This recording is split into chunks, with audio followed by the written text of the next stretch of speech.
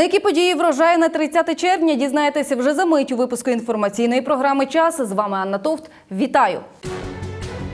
Головування в Раді ЄС першочергові завдання, перешкоджання роботі не поділили. Питання міста, депутатські рішення, фінансові труднощі, гроші на лікування, приєднання лікарні, зміни в медицині, відкрита зустріч, фідбек поліцейських. Топ-подією минулого тижня на Закарпатті матеріалом, опублікованим Інститутом масової інформації, можна назвати конфлікт нардепа Віктора Балоги із колективом М-студіо. У цивілізованих країнах подібні випадки можуть політику коштувати й кар'єри, йдеться у статті. Тож тут, здавалось би, у краєвих ЗМІ мала бути дуже прискіплива увага до такої події. Тож після інциденту на студії нашого телеканалу 23 червня Інститут масової інформації провів власне дослідження обласних ЗМІ. Головна мета моніторингу виявити, які інтернет-видання висвітлили ситуацію і власне об'єктивність новини. Представник Інституту масової інформації на Закарпатті Ярослав Гулан стверджує, що з дев'яти найпопулярніших ресурсів тільки сім розмістили новину на своєму порталі. Зафіксовано два видання, які про це про цю подію, що мала місце, зовсім е, не дали жодної інформації. Це непокоїть, тому що це мені нагадує часи там темників якихось, е, там де власник медіа може дати команду, що показувати, що не показувати, від кого брати коментарі, від кого не брати коментарі. От Із цих семи порталів, які все-таки не проігнорували новину, тільки один інтернет-ресурс наважився висвітлити інцидент найбільш об'єктивно. Тільки один сайт із семи дав е, усі точки зору, включаючи свою власну там десь якась аналітика. Там зараз е, є критика цього сайту за аналітиками, ну, але аналітика річ суб'єктивна. Це знову ж таки право читача довіряти цій анал- аналітиці чи не, довіряти, читати її чи не читати. Але були подані гарячі факти. Це новина перша від е, сайту поліції, друга новина версія Геннадія Москаля, третя новина версія самого Віктора Балоги. Результатом дослідження обласних інтернет-ресурсів стали не зовсім приємні враження. Журналіст зауважує, що на закарпатські інтернет-видання може здійснюватися тиск. Загалом, чи подавати ту чи іншу інформацію, власне, як саме? Адже події, які відбулися на нашому телеканалі тиждень тому, це випадок, про який не можна замовчувати. За минулу добу в зоні проведення антитерористичної операції один військовий загинув, ще 11 зазнали поранень. Про це повідомили в штабі АТО, зауваживши, що в останні дні спостерігається загальне загострення ситуації в зоні АТО. З липня Словацька Республіка розпочне своє головування в Раді ЄС. Держава має намір покращити економіку ЄС, упорядкувати єдиний ринок, а контрольована міграція повинна захистити кордони Євросоюзу. Про пріоритети та напрямки роботи Словаччини на брифінгу розповіла генеральний консул Словацької Республіки. За словами генерального консула Словаччини у місті Ужгород Янки Бур'янової, країна дуже відповідально підготувалася до головування в Раді ЄС. Цю посаду на наступні шість місяців країна обійме вже із 1 липня. Серед числа всіх міністрів словацькі чиновники будуть головувати у десяти положеннях ради. Рада з економічних і фінансових pýtaň, ekologičná rada, rada z pýtaň osvity, molodi, kultúry ta sportu, môže rada z pýtaň zajňatosti, sociálnej politiky, ochrany zdоров'я. Єдина рада, яку не очолює головуючої країна Рада закордонних справ. Окрім цього, словацькі експерти будуть головувати у близько двох сотнях робочих груп. Одне із завдань, які ставить перед собою Словацька Республіка, пошук компромісів між країнами-учасниками єС. У цьому ж контексті не менш важливим є урегулювання питання тероризму, війни та насильства сусідніх країн. U schydnom susedství postійно турбує складна ситуація в Україні. На півдні надії арабської весни перетворилися в ісламський радикалізм, хаос та небачену брутальність.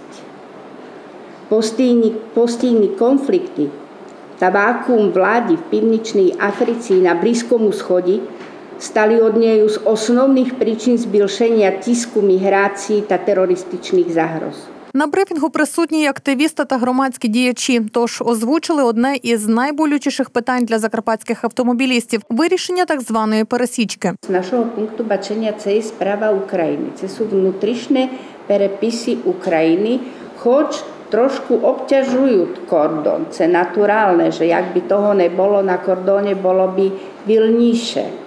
Але ми переконані, що Україна Упорає sa з цим проблемом. Одним із пріоритетних питань Словаччина бачить економічний розвиток Європи. Тому країна має намір ретельніше та ефективніше використовувати фінансові інструменти, а також модернізувати єдиний внутрішній ринок, зокрема створення та розвиток енергетичного союзу. Питання міграції також на порядку денному у Словаччини. А зовнішній кордон ЄС має захистити контрольована міграція. Директора Карпатського біосферного заповідника затримано на півтори тисячі доларів хабара. Вказану суму чиновник вимагав за сприяння з використанням свого службового становища у передачі в оренду для здійснення господарської діяльності приміщення, яке використовується Карпатським біосферним заповідником. Наразі посадовця затримано розпочато кримінальне провадження, що карається позбавленням волі на строк від 5 до 10 років з позбавленням права обіймати певні посади чи займатися певною діяльністю на строк до 3 років з конфіскацією майна. Повідомляє прес-служба прокуратури Закарпатської області. Проводяться першочергові слідчі дії. Як інформує офіційний сайт Карпатського біосферного заповідника, його директор Рибак Микола Петрович. На кордоні у Чопі відбувся масштабний інцидент. Боротьба за контроль над контрабандними потоками на закарпатській митниці Державної фіскальної служби України перейшла на новий рівень. Методи, до яких вдаються організатори тіньових схем, межують соціально-політичною дестабілізацією і відвертим криміналом. За інформацією Закарпаття онлайн, 29 червня на митному посту Тиса близько 30-40 мікроавтобусів намагалися ввести в Україну великі партії контрабандних товарів. У кожному мікроавтобусі перебувало по 8-10 чоловік, які використовувалися як піджаки. Тобто, як вдалося з'ясувати, кожен із цих осіб переміщував орієнтовно 50 пар взуття, різноманітний одяг та інші побутові товари. Як йдеться в повідомленні, ці люди і перекрили пункт пропуску, завдали тілесних ушкоджень правоохоронцю, вигукували погрози, намагалися вчинити самосуд і так далі. Заручниками ситуації стали прості громадяни, навіть з маленькими дітьми, які в цей час перетинали кордон у власних справах. Зловмисники намагаються чинити психологічний тиск на прикордонників. Військовослужбовці Державної прикордонної служби продовжують активно протидіяти протиправній діяльності на державному кордоні. У відповідь контрабандисти чинять неабиякий спротив. Нерідко погрожують охоронцям кордону розправою та завдають шкоди їх особистому майну. Учора невідомі побили скло в автомобілі начальника одного з відділів прикордонної служби Мукачівського прикордонного загону. Про подібні випадки прикордонне відомство інформує правоохоронні органи та вживає усіх заходів задля захисту прав військовослужбовців, які сумлінно охороняють кордон України. Повідомляє прес-служба Мукачівського прикордонного загону. Близько п'яти тонн товару китайського виробництва були ввезені незаконно на митну територію України. Про це інформували в департаменті захисту економіки Національної поліції України. У транспортному засобі знаходилися пакунки з одягом, джинсами, спортивними костюмами тощо.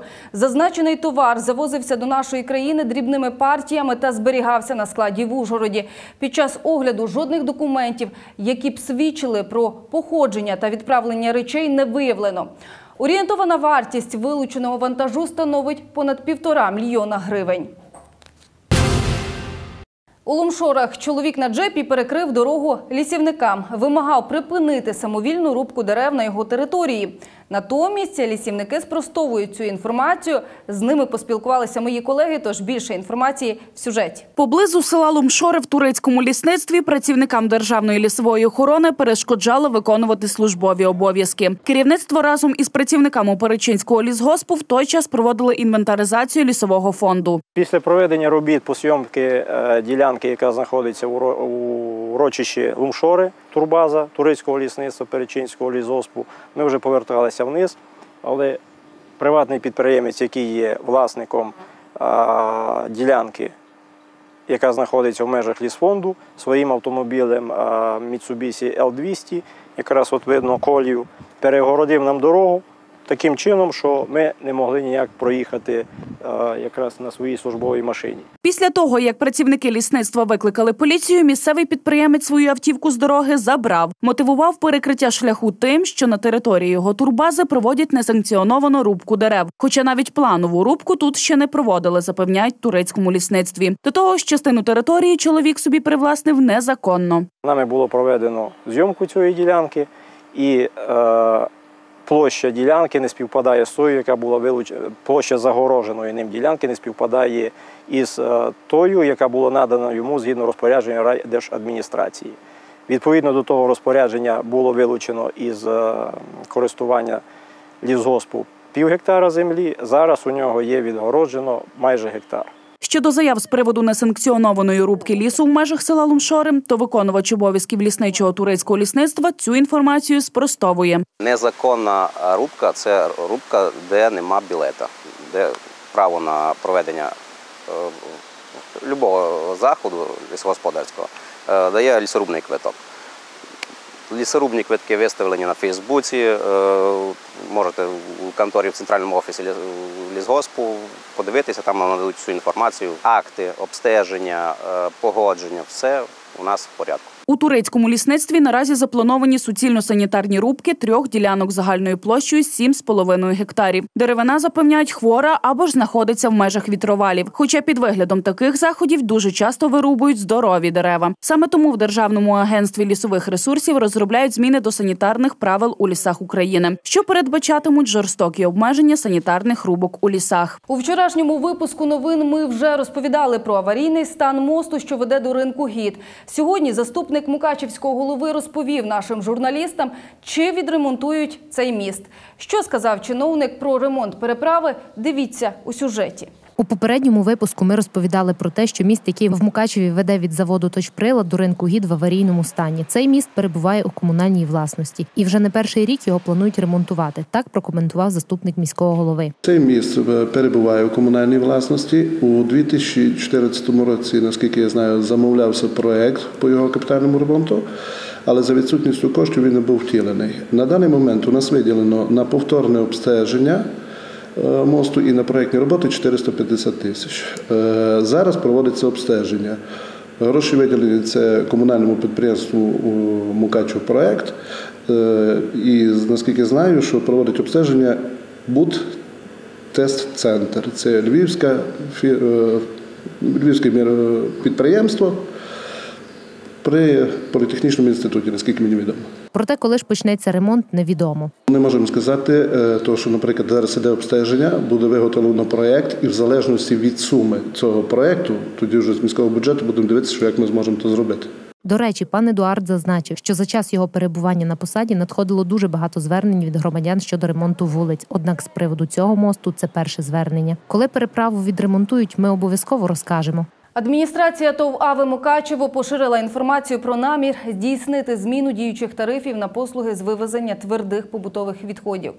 Згідно з інформацією, пропонується до встановлення наступні тарифи на вивезення твердих побутових відходів для населення на одного мешканця в багатоповерхових будинках 15 гривень 47 копійок в місяць, з одного домогосподарства 47 гривень 87 копійок на місяць.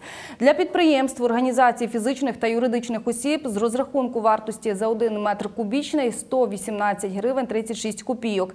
Для бюджетних установ майже 94 гривні за метр кубічний. Нагадаємо, діючий тариф затверджений рішенням Мукачівської районної ради від 5 лютого 2015 року. Про ремонт доріг, земельні та комунальні питання, серед яких і ліквідація ЖЕКу йшла мова на засіданні сесії Хуської міської ради. Також говорили про міський пляж та термальні води. Крім того, розглянули депутати і проекти планування окремих територій. Детальніше про ці та інші рішення в сюжеті. Насамперед на сесійному засіданні представлено нового військового комісара Хусько-Міжгірського ОМВК. Ним став майор Олександр Адамов, який досі займав аналогічну посаду у Виноградові. 29 числа остання, остання відправка до Збройних сил України стосовно страхової військової служби. Е, Так, так сталося, що якби, не, я, не я починав, і, але, але прийшлося, скажімо так, закінчувати. Закінчили ми його в цілому за цілий район, не буду виділяти окремо місто або район, на 89%.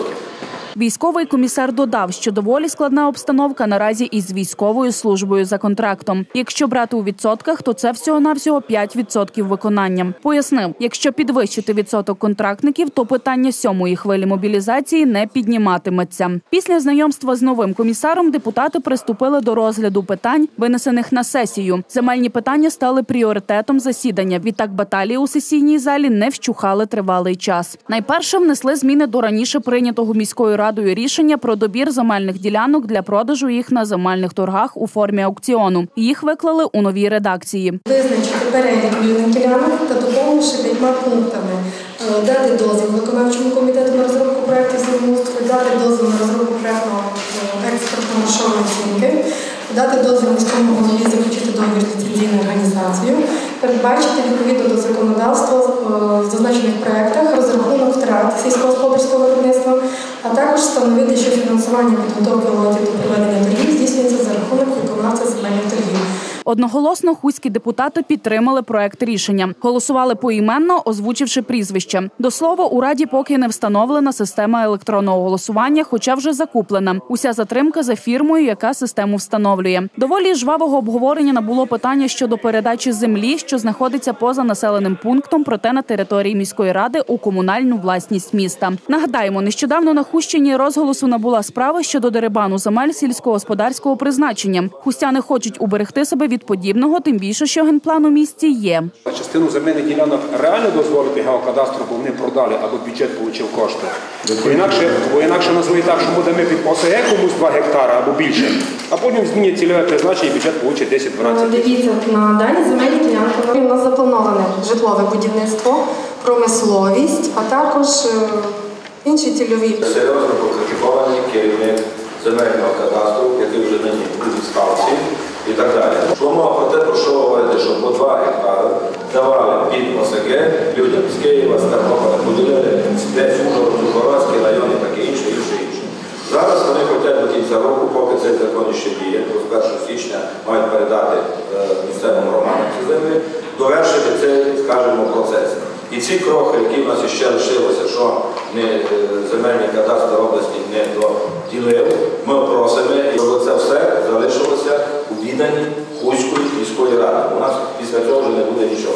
Відтак рішення прийняли. Говорили народні обранці і про виділення містянам земельних ділянок. Зауважили, що згідно з відповідним положенням земля повинна виділятися громадянам по черзі, зокрема по даті надходження заяв. Крім того, повинно мати місце дотримання пропорційності у відсотковому співвідношенні серед тих, хто претендує на землю першочергово, позачергово та за загальними списками. Представники міської влади відповіли, що у цьому випадку положення не може бути витримано. Тому що ми це затверджуємо проекти, які були надані надані дозвола ще в листопаді місяці. Тобто, тобто по мірі, по мірі виготовлення ліцензованими організаціями проєктів у такій мірі, як їм скоро роблять проекти, так вони сюди поступають. Однак депутати у своїй більшості підтримали проект рішення. Відтак затвердили усі проекти із землеустрою щодо відведення земельних ділянок та передали їх у власність громадянам. До слова, наразі у черзі за землею 1740 містян. Йшла мова і про доцільність електронної версії земельних списків, доступ до яких буде у всіх без винятку. Говорили обранці і про камери відеоспостереження, і про систему Wi-Fi у парку відпочинку, а також про щосуботній хаос на об'їзній у хусті автодорозі державного значення. Озвучили і певні пропозиції. За ряд рішень проголосували депутати пакетом. Одноголосно ліквідували комунальне підприємство ЖЕК номер 2 а також підтримали погодження на проведення геологічного вивчення у одному з місцевих готельно-оздоровчих комплексів щодо наявності термальної води. Йшла мова і про ремонт доріг, і про доцільність міського пляжу, і про розбудову житлового сектора в одному із найбільших спальних мікрорайонів міста. Сьогодні в обласному центрі в чергове засідав виконавчий комітет Ужгородської міської ради на порядку денному. Окрім технічних питань, члени виконкому також розглянули упорядкування бюджетних коштів міських закладів охорони здоров'я, які через велику кількість хворих з інших районів не в змозі забезпечити якісне медичне обслуговування жителів обласного центру. До яких висновків прийшли? Дивіться в сюжеті. З метою, щоб саме жителі міста Ужгород, наші містяни, не страдали від е, е, переповненості е, палат, від того, щоб вони безкоштовно отримали весь пакет, який їм гарантувала держава. І саме цією метою ми хочемо впорядкувати перебування і лікування хворих в наших медичних закладах.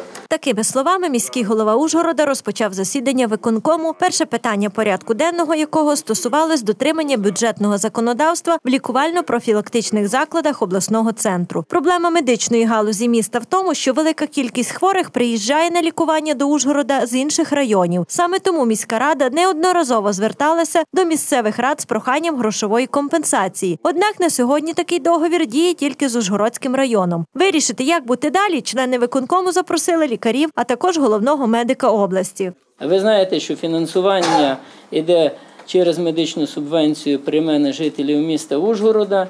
І, на жаль, угод про трансферти із е, районами, наскільки я інформований, місто е, має не зі всіма, будемо так м'яко дуже говорити. Тобто е, жителі інших районів, які приїжджають, вони мають право звертатися, і лікарня не має права відмовити, тому що це порушення прав громадянина. Не надати медичну допомогу хворому, який звернувся по допомогу, лікарі не мають ні законного, ні морального права, наголошує головний лікар Ужгородської лікарні. Однак це в свою чергу створює як фінансові труднощі, так і проблему із забезпеченням лікарняними ліжками та необхідними медикаментами. Ми зараз скоротилися до 359 ліжок.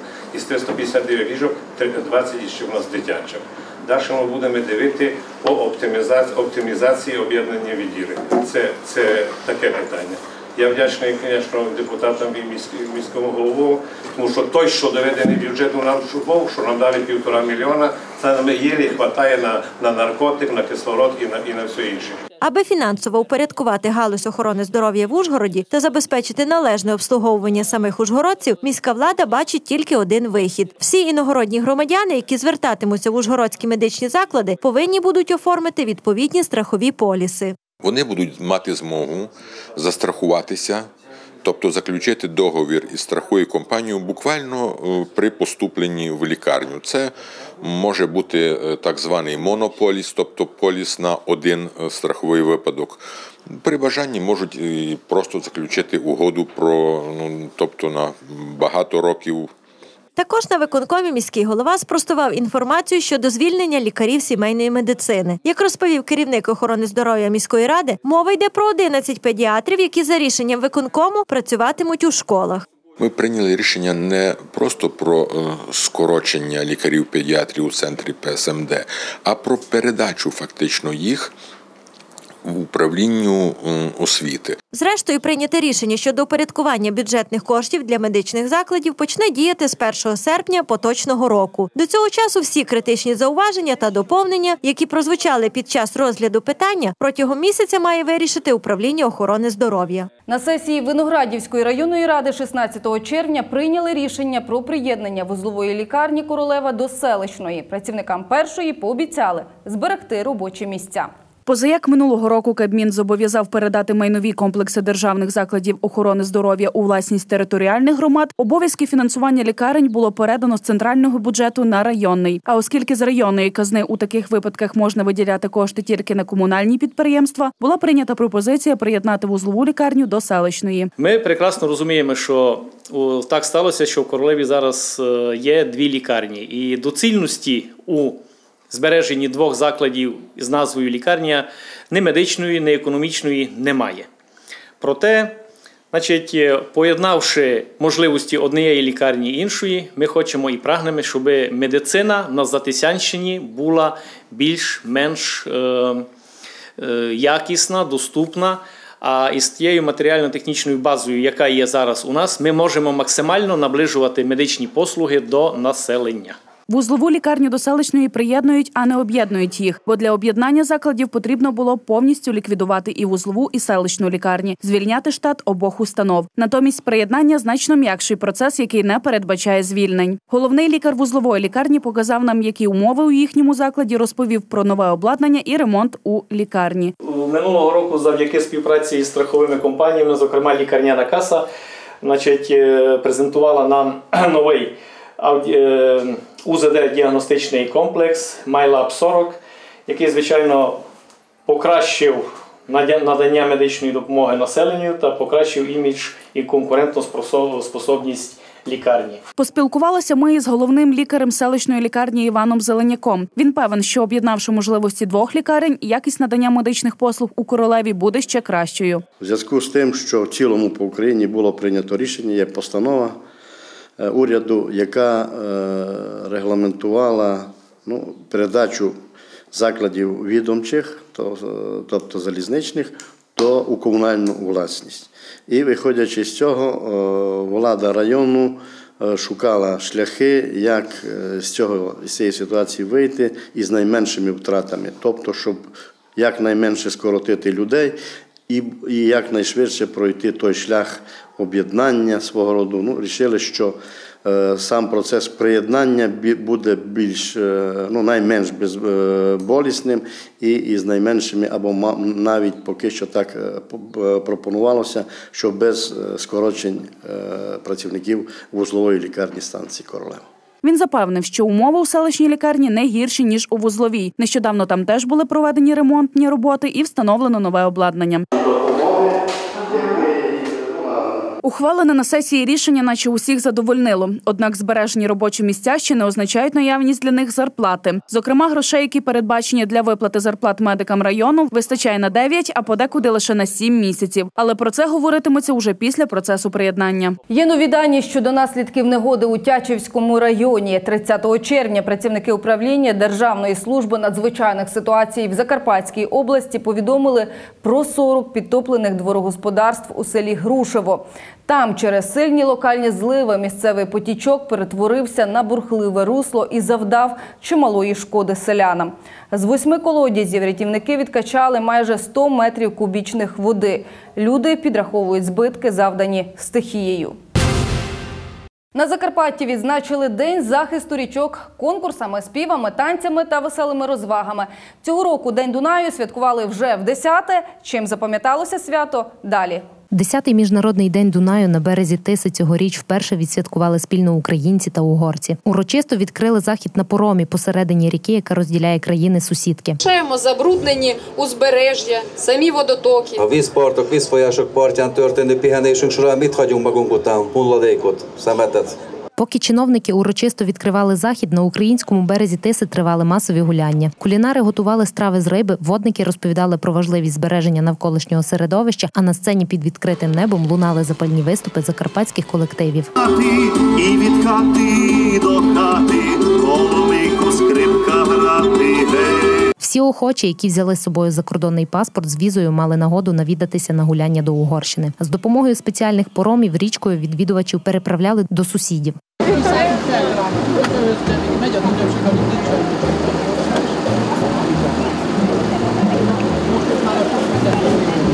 На угорському ж березі Тиси зібралися науковці, чиновники. Саме тут обговорювали проблемні питання захисту річок. На жаль, проблема сміття дуже актуальна. Ми не можемо її ніяк контролювати тільки шляхом моніторингу кількості сміття. А це дуже багато, особливо це пластикові пляшки. Наразі єдиний метод боротьби з українським сміттям це встановлення спеціальних сіток, які б скупчували і стримували непотріб. А далі відходи забирають бульдозерами. Ми повинні розуміти, що нас пов'язує не тільки багатовічна історія, а й ріки, незалежно від того, дамба на нашій стороні чи на вашій проблеми є спільні, і вирішувати ми їх повинні спільно. Угорські водники кажуть, нарікати не хочуть, проте щорічно чимало непотребу з України прибуває на їхню територію. Борються з цим явищем, однак результат непомітний. Впевнені, в першу чергу потрібно звертати увагу людей, які власне і смітять на ці та інші проблеми. Зі свого боку, українські представники кажуть, день Дунаю в Україні якраз спрямований на те, аби привити громадянам, а особливо дітям, любов до навколишнього середовища. Ми приділяємо увагу, знаєте, молоді до проблем річки Тиса. Якщо говорити, що помінялось за цих 10 років, ну що вам сказати, якість води ми дотримуємо. е, В принципі, одна із кращих я- якість води краща в басейні річки Дунай. Проте без проблем не обходиться протипаводковий захист. На ці питання вже три роки байдуже керівникам країни. Похвалитись нічим, на жаль. Три роки ми не здійснюємо практично протипаводкових заходів, тому що не фінансується з державного бюджету.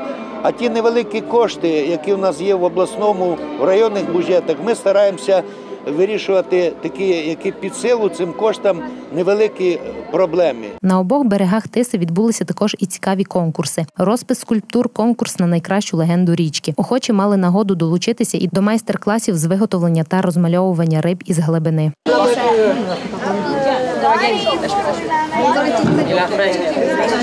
Водогосподарники закликали молоде покоління цінувати та берегти річки, воду та тримати береги чистими. Не треба світити, це найперше.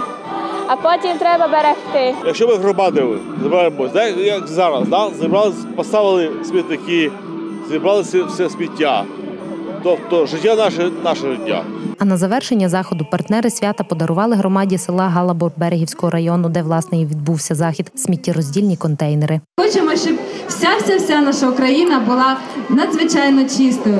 Тому будьте екологічно відповідальними і також робіть нашу домівку чистою. 27 червня мукачівці мали змогу поставити свої запитання до працівників поліції. Фідбек з поліцейськими відбувся в місті вперше, однак не востаннє. Що найбільше турбує людей, дивіться у сюжеті. Упродовж години на центральній площі Мукачева 27 червня працівники патрульної поліції охоче відповідали на запитання людей, які стосувалися роботи правоохоронців. Вам зобов'язані надати відповідь, якщо ви звертаєтеся у письмовому вигляді. У законі про звернення громадян є пункт, яким це передбачено, і управління або керівництво, або будь-яка держава установа, державна установа не має права не відповісти на нього. В основному люди цікавились порядком звернень до патрульної поліції, можливістю оскарження адмінматеріалів та що робити, якщо громадяни вважають, що патрульний поліцейський діє неправомірно. Сьогодні цікавило, зокрема, е, такі питання цікавили людей, громадян, е, мукачівців, як порядок звернення е, у патрульну поліцію, е, розгляд судових справ. Пов'язаних із адміністративними правопорушеннями, порядок оскаржень постанов або навпаки порядок дій, коли тебе штрафують і ти справді винен. Ернест Завадський каже, працівники поліції візьмуть до уваги всі побажання та зауваження, аби покращити свою роботу. Це проект спрямований на комунікацію із громадянами. Тобто для патрульної поліції важливо знати, що думають громадяни, чи чи подобається, чи влаштовує їх робота патрульної поліції. А також цікаво знати, що б вони змінили, можливо, на що вони скаржаться. Так званий фідбек поліцейські планують провести вже за місяць і закликають всіх охочих долучитися до зустрічі. Ось такими були новини сьогодні. Завтра ж у часі. Дивіться про наступне. Сміттєвий колапс, зона забруднення, забута дорога, подорож бездоріжжям, садівництво під загрозою, розвиток господарства. Дзвоніть нам за телефоном 067 311 72 77 та розповідайте про те, що на вашу думку мають дізнатися інші. Повідомляйте про зловживання та байдужість чиновників, корупційні справи та хабарі, аби разом з вами ми могли надати розголосу цим вчинкам. Пишіть нам на скриньку mstudio.mk.ua. На сьогодні це все. Дякую, що довіряєте. Хай щастить.